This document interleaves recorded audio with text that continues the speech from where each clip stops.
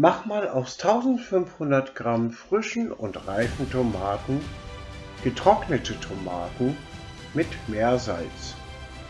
Das Aroma allein, ihr würdet staunen, es ergibt ein wunderbares Tomatensalz. Wie ich das gemacht habe, das erfahrt ihr in diesem Video. Ich bin Kalle und ihr seid bei Guckst du mit Kalle. Herzlich willkommen!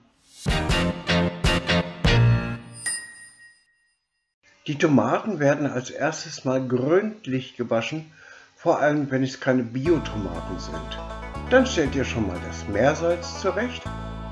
Oder wer es mischen will, zum Beispiel mit der Salatkräutermischung Basis, der stellt diese dann schon mal hin. Aus den Tomaten wird dann der Strunk entfernt. Mehr nicht. Alles andere, auch das Innenleben, bleibt in der Tomate drin. Druckstellen machen nichts, aber faulige Stellen sollten weggeschnitten werden. Dann werden die Tomaten in Scheiben geschnitten, nicht zu dick, sonst dauert es zu lange, bis sie trocknen. Alle Tomatenscheiben kommen auf mit Backpapier ausgelegte Backbleche.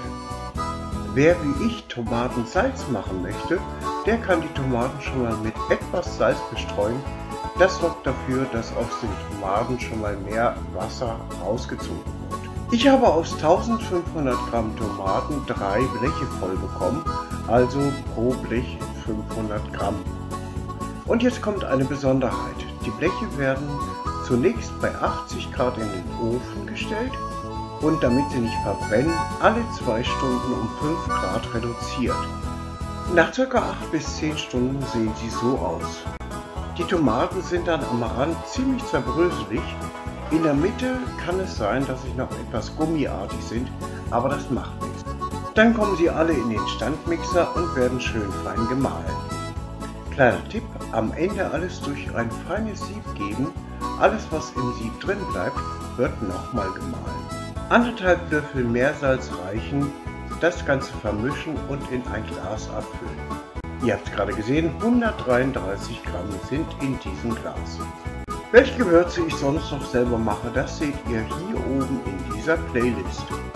Das war's von mir bis hier. Tschüss, euer Kalle.